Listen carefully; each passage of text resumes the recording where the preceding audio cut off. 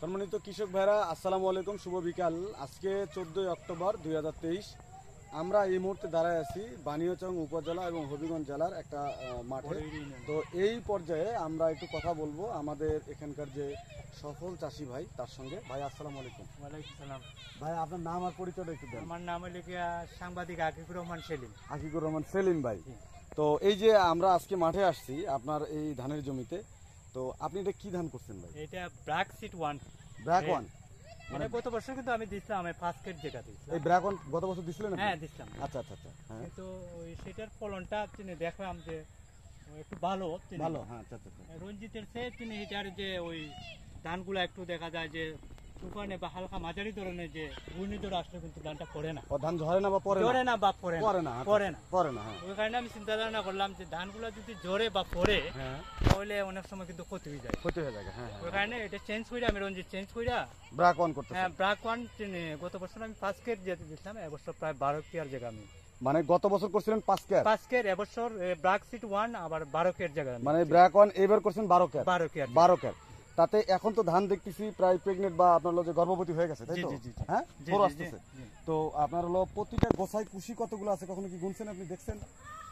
এগুলো দেখি নাই দেখেন নাই? দেখব? তো আমরা আমরা একটু গুনি আমরা একটু গুনি। দেখব আমরা একটু গুনি।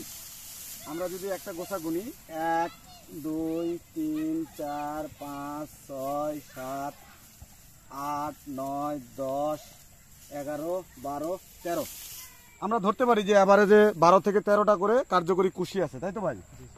তো এখন বর্তমানে গাছের যে অবস্থা বা ধানের এখন বর্তমানে যে স্টেজ তাতে কি আপনি মানে যে এই ধানের প্রতি আশাবাদী কিনা? আশাবাদী আশাবাদী। ভালো হবে? হ্যাঁ ইনশাআল্লাহ কিন্তু আশাবাদী অন্য বছরের তুলনায় এবছর হ্যাঁ, হ্যাঁ। আরও ভালো ফলন হওয়ার।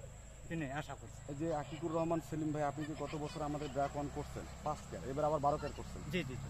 তাতে আপনি যে এই যে জমির পরিমাণ বাড়াচ্ছেন হ্যাঁ জমিন আপনি কি মনে করেন যে অন্য চাষিরা যদি করে ব্র্যাক ওয়ান এই এলাকায় এই হাওড় এলাকায় তারা কি লাভবান হবে? হ্যাঁ অবশ্যই। অবশ্যই লাভবান হবে।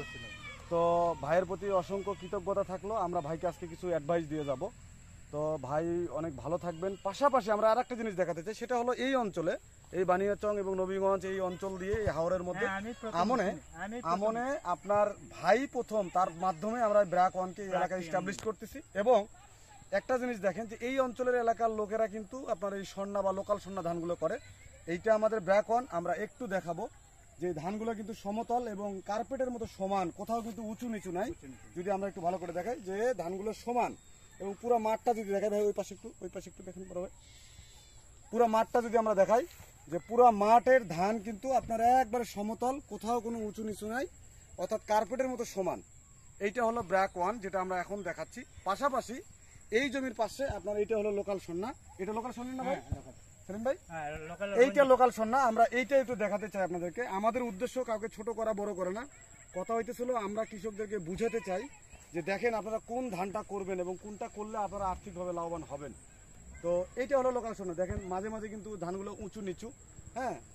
সমতল না আবার মানে যে ধানের যে গ্রোথ সব জায়গায় কিন্তু একই রকম না। একই রকম কি ভাই?